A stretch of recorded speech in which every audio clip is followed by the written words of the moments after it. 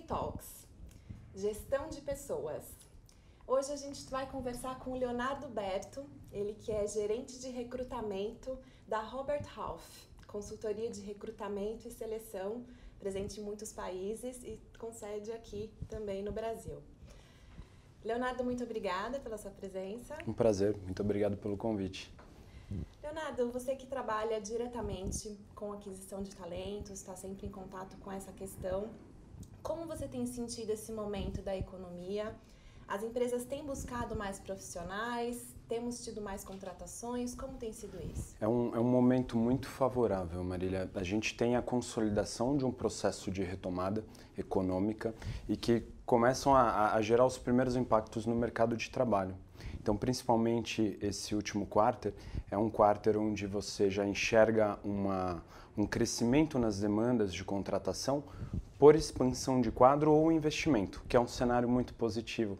É um cenário onde as empresas estão se preparando para um movimento é, um pouco mais agressivo, economicamente falando, e se preparando para dar conta das demandas que devem surgir a partir do ano que vem. Então, é um movimento que consolida um processo de retomada e começa já a trabalhar na, na geração de empregos.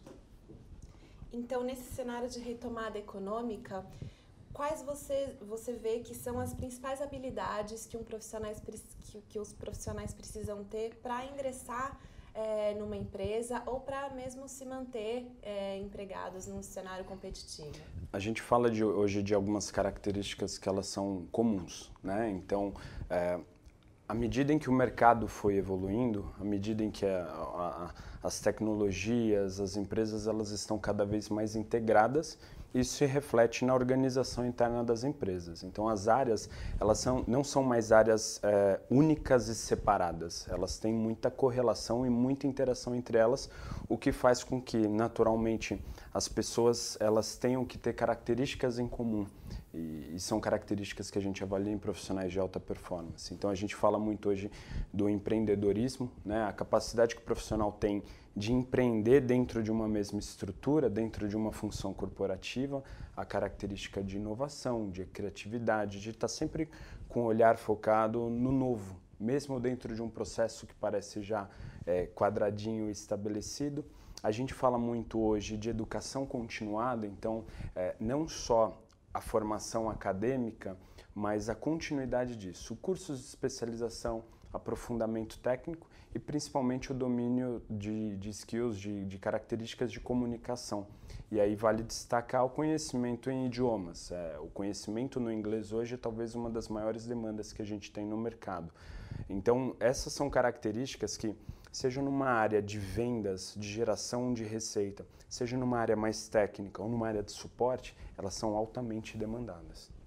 Então não existe mais a figura daquele profissional segmentado, né, que fica fixo em uma função apenas, ele acaba permeando todas as, Exato. as áreas. Né? Você, a figura do profissional técnico, ela, ela existe. Você tem ainda funções que elas são muito específicas e muito técnicas. Então, numa linha de produção, às vezes você vai ter um profissional focado numa parte muito pequena do processo e mesmo no, no ambiente corporativo você vai ter a pessoa responsável só pela apuração de um determinado imposto, que são características muito técnicas. Mas a principal diferença no, nos últimos anos é que hoje é exigido dessas pessoas, por exemplo, uma capacidade de comunicação muito avançada.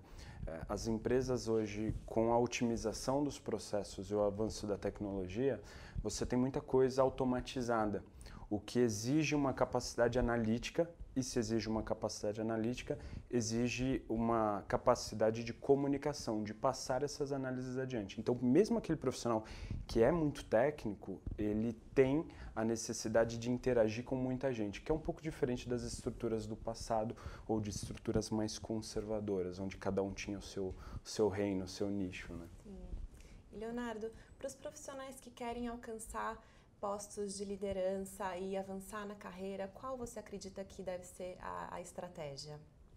Acho que é, existem dois caminhos, né? A gente costuma dizer existe o caminho do líder, existe o caminho do gestor. Hoje o que o que está muito em alta, o que as empresas demandam muito é uma união desse, dessas duas características. Então, a característica do líder é aquela pessoa com alto poder de comunicação, de engajamento, que tem um, um poder de, e uma capacidade de gerar empatia com seus colaboradores. E quando a gente fala do profissional com alta capacidade de gestão, a gente passa por uma visão de processos, mas o conhecimento técnico bem, bem estabelecido. É, não é a figura do, do gerente, como a gente costumava dizer antigamente. Né? Você tinha o, o, melhor, o melhor profissional da produção virava o gerente da produção. Né? Só que você acabava perdendo seu melhor é, é, produtor e ganhando às vezes um gestor não tão bem preparado. Então a gente está falando de uma união de características que a gente chama de características técnicas e características comportamentais. É, o profissional que está buscando esse avanço, ele precisa ter é, muito claro quais são é, os pontos fortes, né, onde que ele se destacou tecnicamente, mas ele precisa olhar para essas características comportamentais, que é a maior demanda hoje de um líder. Como que ele se relaciona com a equipe, como que se, ele se relaciona com os pares com os níveis de cima, é, como que ele se comunica é, é, é, fundamental. Então, o quão aberto eu estou para ouvir e quão, e quão capacitado ou preparado eu estou para me comunicar de uma maneira que eu consiga é, organizar as minhas estruturas de uma forma bem, bem, é, bem clara, né? de uma forma onde eu consiga é, conhecer de forma profunda meus pontos fortes, onde eu consiga é, enxergar onde que eu preciso colocar mais ação. Então, são duas características que andam, que andam juntas. Né? Precisa do conhecimento técnico, mas precisa de boas características comportamentais. Sim. Nesse cenário de trabalho é, em constante mudança, em constante evolução, algumas características é, são um pouco obsoletas e, e, existem algumas demandas novas. Né? Quais características dos profissionais continuam sendo buscadas pelas empresas e quais são as novas demandas? Olha, eu, eu diria que eu complementaria o que você está dizendo, que é, é muito profundo é, dizendo que é um avanço dessas características, né? uma, uma evolução. O que a gente pedia 15, 10 anos, 20 anos atrás, uh, a gente continua olhando, mas com características um pouco distintas, com, com a evolução dessas características. Então, por exemplo, é, durante um período, por volta do, dos anos 2010, 2012, a gente falava muito no, poten, no profissional de altíssimo potencial, que tinha várias experiências. Hoje o mercado demanda muito fortemente o profissional que é estável, que é uma característica dos profissionais de 10, 15 anos atrás. Né? Então, uma carreira mais estável, uma carreira onde eu tenho começo, meio fim, ciclos que, que, se conversam. Então, um profissional que tem estabilidade nas suas passagens, ele é muito bem visto.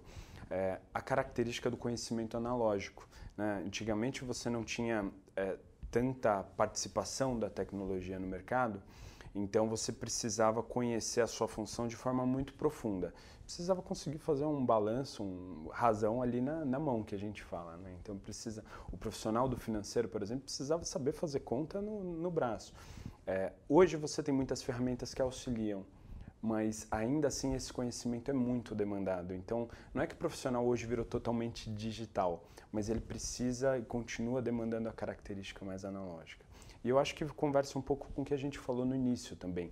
Características como empreendedorismo, criatividade, inovação, poder analítico, conhecimento em outros idiomas e, e um, uma, um, um pensamento de guiar sua carreira com o sentimento de uma educação continuada, então constantemente eu busco cursos e formas de aprimoramento, são características demandadas é, que por vezes no passado foram olhadas de forma pontual para determinadas funções, mas hoje elas se tornam um conjunto de características que a gente busca para todas as ações. Então acho que é, é, uma evolução do que foi o profissional, é, é a continuidade do, do, desenvolvimento.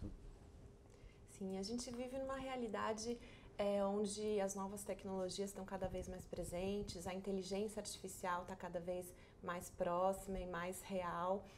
É, ao seu ver, quais são os cargos que vão se tornar extintos daqui a alguns anos e quais vão ser as demandas novas, né, os cargos que vão ser é, novas necessidades do mercado? O processo de, de avanço da tecnologia, ele visa muito a facilidade. Ele visa muito possibilitar que você invista tempo em atividades que gerem um resultado direto. Né? Então, é, análises, é, a, toda a parte de, de, relacionamento humano, tudo isso continua existindo e é isso que a tecnologia abre espaço para a gente investir mais tempo. Então, dito isso, todas as funções que hoje elas têm uma relação muito operacional é, ou de geração, de, de, consolidação de dados, elas têm uma tendência a, a, serem adaptadas ou substituídas por inteligência artificial, o que, o que não significa extinção dos empregos. Então, lembra que a gente estava falando dessa característica de análise? Então, às vezes o profissional que ele tinha uma função só de lançamento de dados e consolidação ali num, num banco de dados, ele talvez não tenha mais essa função mas abre-se uma janela de, de espaço, de tempo, para que ele invista todo esse conhecimento na análise desse banco de dados. Né? Então, naturalmente, é, a inteligência artificial ela vem com ferramentas que te dão essas análises, que dão simulações de cenário, mas o, o, o componente humano, vamos chamar assim, o fator humano, ele ainda é fundamental. É, eu conheço o negócio, eu conheço as pessoas com quem eu estou me relacionando, é, eu consigo é, tomar decisões em cima de, de fatos, às vezes, que não foram previstos. Então, tudo aquilo que é operacional, você tem uma chance maior de ter essa reposição por tecnologia, mas é, todas as funções ligadas à tecnologia, então a gente tem hoje um mercado superaquecido para programadores, desenvolvedores, cientistas de dados, ou todas as posições que demandam relacionamento humano, elas continuam existindo e, na verdade, têm um caminho de expansão. É, muda uma função aqui, surge outra carreira ali. Então é mais uma também uma continuidade do processo. Sim. As empresas têm buscado atualmente não só as competências técnicas né, do profissional, mas também algumas habilidades comportamentais, até emocionais, né? É, capacidade de adaptação, flexibilidade, uma certa inteligência emocional. É, queria que você falasse um pouquinho sobre isso, a questão humana, né, que a gente estava falando. Sem dúvida. Quando você observa essa integração entre as áreas, você começa a perceber isso. Isso acho que o mercado já é, é bem amadurecido, as pessoas falam bastante, que você contrata um profissional muitas vezes pela capacidade técnica dele, pelo que ele já realizou, mas grande parte das demissões elas estão relacionadas ao comportamento. Né? Então eu contrato pelo técnico e demito pelo comportamento. Então enxergando isso, as empresas têm um investimento de tempo muito maior em avaliar, validar e te ajudar no desenvolvimento é, dessas características.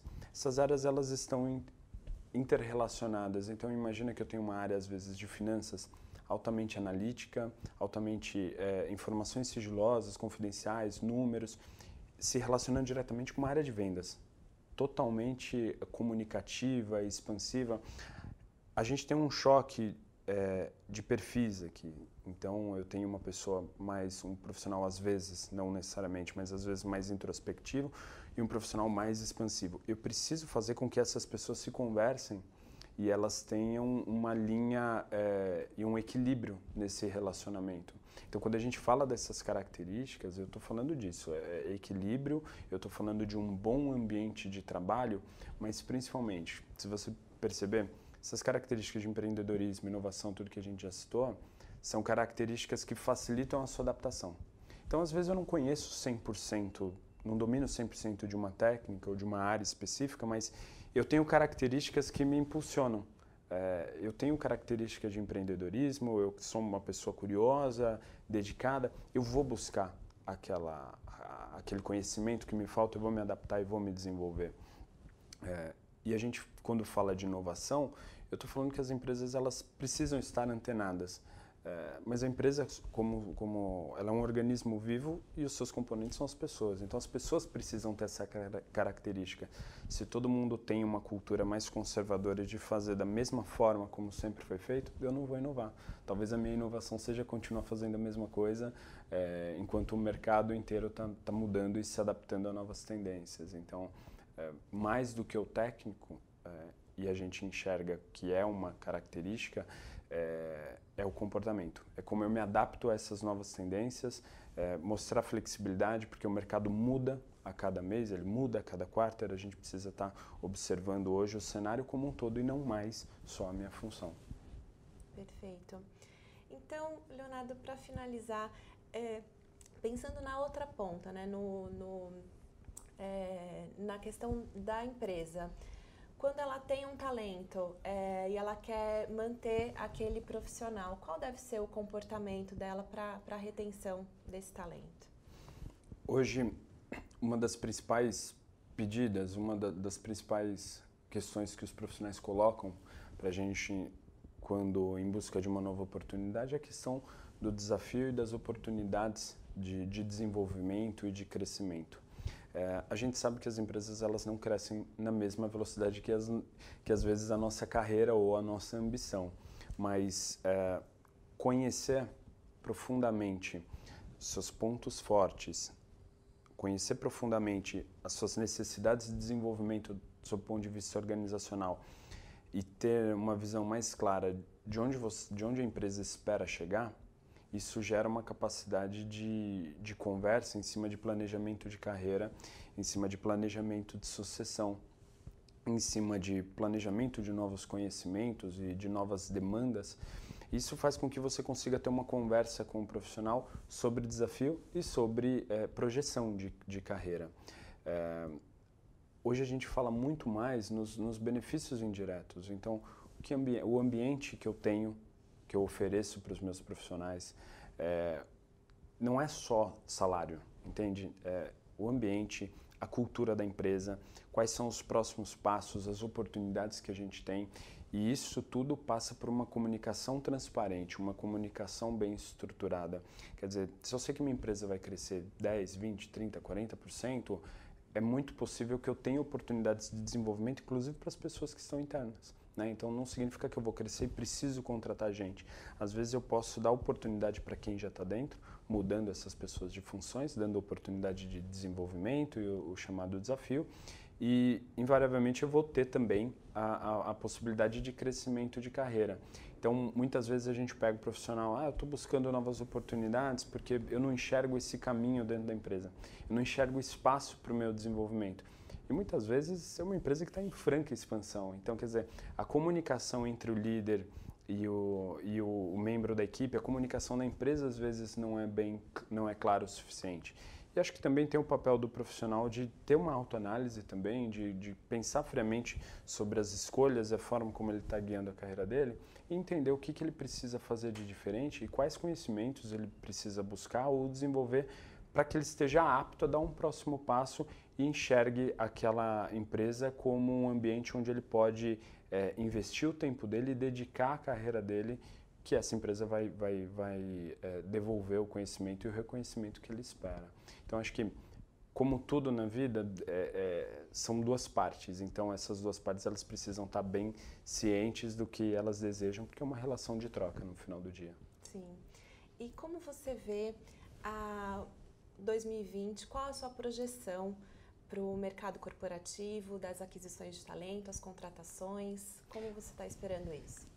A gente enxerga ainda um, um mercado em crescimento, em expansão. É, a geração de vagas maior do que foi o ano de 2019, ainda a consolidação desse processo de, de retomada, mas a gente enxerga um ano com mais oportunidades em outras áreas. Então, hoje a gente fala de mercado aquecido para mão de obra qualificada, né? Então, é, profissionais com conhecimento específico, domínio de idiomas e novas tecnologias, esses profissionais têm muitas oportunidades. E para o ano que vem a gente co começa a enxergar é, algumas outras posições sendo demandadas. Esse é um ano que a gente falou muito de posições na área comercial, área de compras, a gente falou muito é, em posições de recursos humanos de parceiros de negócios, chamados business partners, e as áreas de tecnologia e desenvolvimento. O ano que vem é um ano que a gente já enxerga essa demanda chegando também é, na faixa é, o que a gente chama as áreas administrativas e de suporte e posições que não estão, às vezes, diretamente relacionadas à geração de receita. Então, como o movimento de retomada ele se torna um pouco mais agressivo agora, você tem as posições de frente, tudo que é investimento e geração de receita. Para o ano que vem a gente enxerga esse movimento ainda mais forte, mas já é, é, refletindo em posições que hoje elas estão um pouco mais estáveis, então posições que estão mais relacionadas à atividade é, interna da empresa e de administração em geral. Então é, a gente enxerga como um ano de crescimento, um ano de consolidação. Money Talks, gestão de pessoas, conversou hoje com Leonardo Berto, da Robert Half. Leonardo, muito obrigada. Eu que agradeço, obrigado pela oportunidade. Até a próxima.